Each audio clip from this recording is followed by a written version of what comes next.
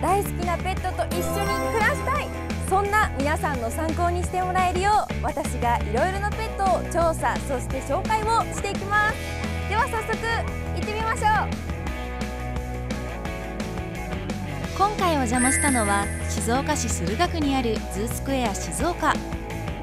広い店内には定番のワンちゃん猫ちゃんのほかお魚や爬虫類などおよそ500種類以上の生き物を取り扱っています。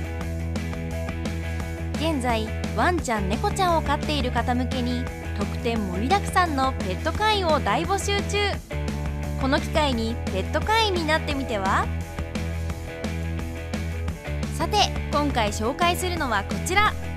今大人気のトイプードルです。ふっくらとした毛並みが可愛らしいトイプードルは性格がおとなしく人懐っこいので初心者でも飼いやすい犬種です。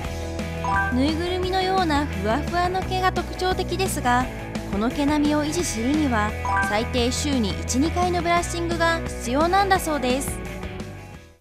ここからはズースクエア静岡店の後藤さんにトイプードルについて教えていただきます。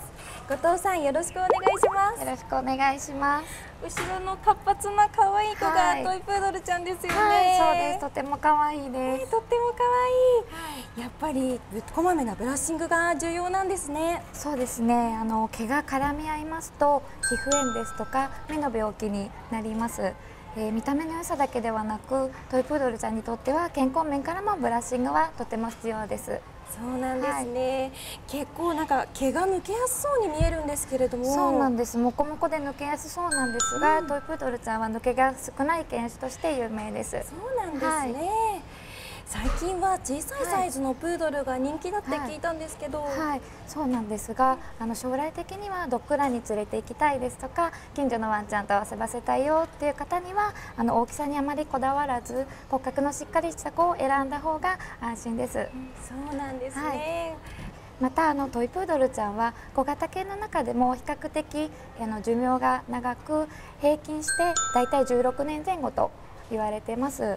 はい、ただし、えーと、日々の食べるものや、えー、運動習慣などによって変わってきます。あとは、えーとそうですねえーと、病気を早期に発見できるような定期検診をすることによってあの寿命も大きく変わってきます。えー、ワンちゃんも人間と同じなんですね。はい、そうですね。あの長い期間愛情を持ってお世話ができるトイプードルちゃんに出会って素敵なワンちゃんとの生活を楽しんでください。